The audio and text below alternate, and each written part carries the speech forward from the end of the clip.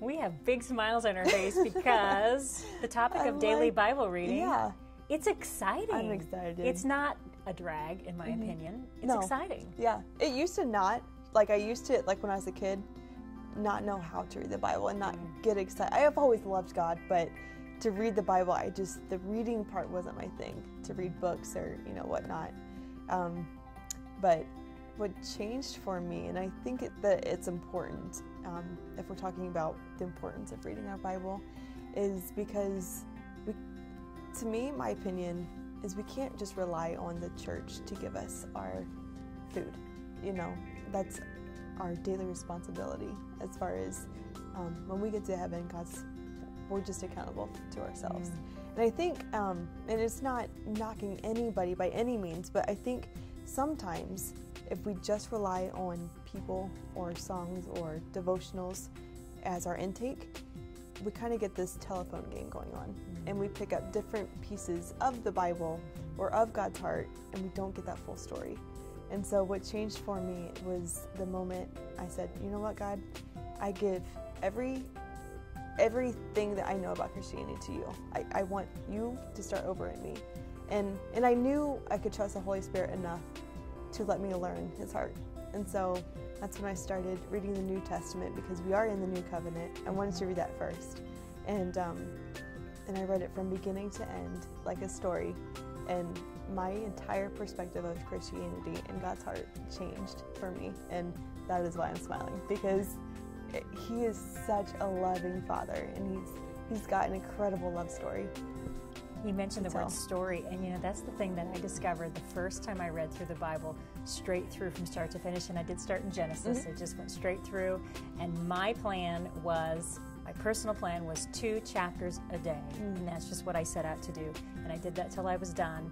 Um, but the story, the story Mm-hmm. Yeah. that you learn, because we all read the Noah's Ark books, and we all hear the little stories, and we all get snippets of it. But when you do it completely, It's an internal and start story. to stop and think about it. Yeah. Mm-hmm. Take that time to think about it. Mhm.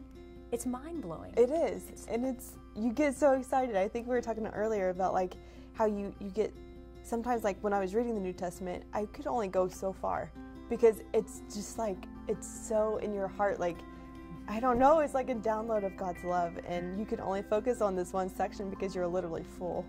At least it was for me. Like I could only go a few verses at a time sometimes to meditate on that certain section because I just wanted to take that all in. The first time that I did the, the Bible straight through, um, I was a pretty new Christian Mm-hmm. at the time, and I decided I was just going to start writing down this, the verse, like the book and the passage that meant something to Yeah. Me. Um, you've talked about journaling. You're really good at it. I've never been great at journaling, but I'm good at note taking. Mm-hmm. And so I just started writing down Genesis 3:15, or you know, just Yeah. Matthew, whatever. And um, by the time I was done, I mean, just the list, the lists of, verses, and I was able to look back at that and go, wow, wow. You know, the Bible Yeah. Says that it's living and breathing, sharper than any double-edged sword, and and I can't think of another book that I read that is more Yeah. internally building Right. than the Bible. So, Jennifer, do you think that it's okay to skip days, or what do you think is the consistency? How much should you read of the Bible?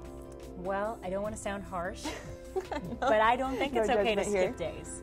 Yeah. Um, I think we need the Word of God in our hearts in some way every single day. Mm-hmm. Yeah. But that might look differently Yeah. depending Oh, on what we can do. You know, there's the great Bible reading plans, Mm-hmm. which are wonderful. They're a guide. Um, they get you through the Bible in a year or 2 Mm-hmm. years, and that's a great option. Um, but also just the idea of consistency. You know, some nights I have a half an hour to dive into the Bible. Yeah. Some nights I just have enough time to get a verse or two in. Mm-hmm. But that that became has become my non-negotiable. Yeah. I cannot go a day without my eyes seeing or my ears hearing some piece of scripture, even if it's only a couple verses. Yeah. It's like medicine, I think. Yeah. You got to have it every day. Yeah. I love the fact that social media, technology, all that stuff gives us so many connectability. That- you know what, that is true. I do. between the apps that you Yeah. can get on the phone. Um, I might just look up BibleGateway.com and look at the verse of the day.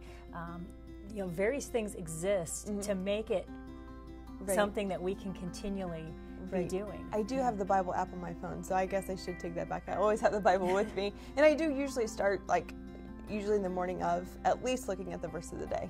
I guess I that that's more of a, a better way to put that. But I think it's also important to know that God isn't like a guy with a gavel who's Right. going to hammer us if we miss a day in the Right. Bible or if we don't read the amount that we intended to read or that our Bible, our, our our plan says. Mm-hmm. In fact, last January I started what was supposed to be a 12 month reading plan, mm-hmm. and in December I had made it three months in.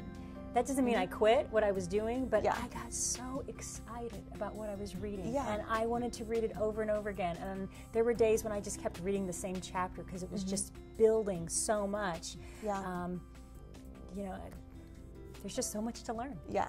Oh, for sure.